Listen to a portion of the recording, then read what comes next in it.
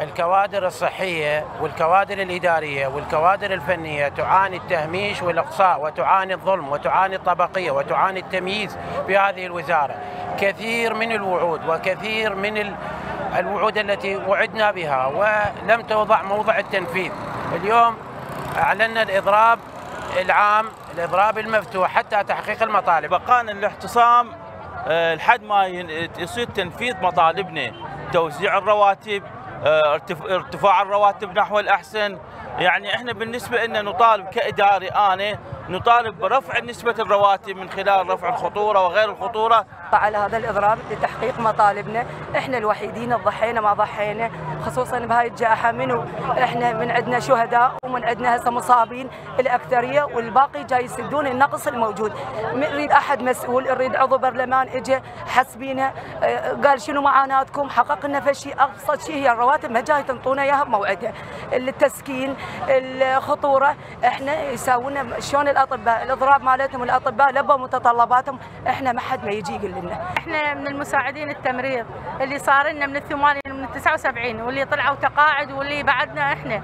فإحنا ما حصلنا شيء.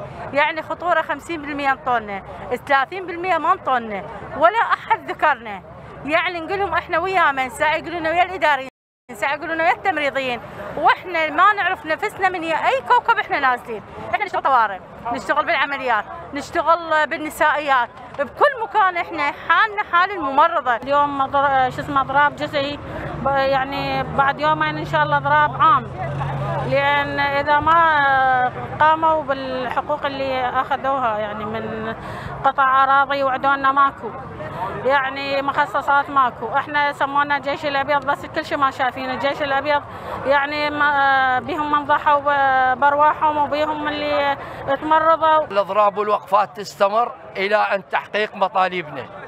لأن أنتم يا حكومة قاعد تخلون الصحب مواقف محرجة مع المراجع. إحنا المراجع طبعا أخونا ومن حقه نقدم له الخدمات. والدليل هو الطوارئ وباقي الرتهات والحالات الطارئة العناية المركزة كلها مستمرة بالعمل. بس كافي تهميش كافي تهميش لأن إحنا قاعد نقدم خدمة. إحنا أعطينا شهداء وقدمنا وكذلك شاركنا حتى في المعارك ضد داعش الإرهابية. إحنا قدمنا. الكاظم إحنا نتأمل به خير زين إحنا نريدك أنت تهتم بشريحتين التعليم وكذلك هو الصحة.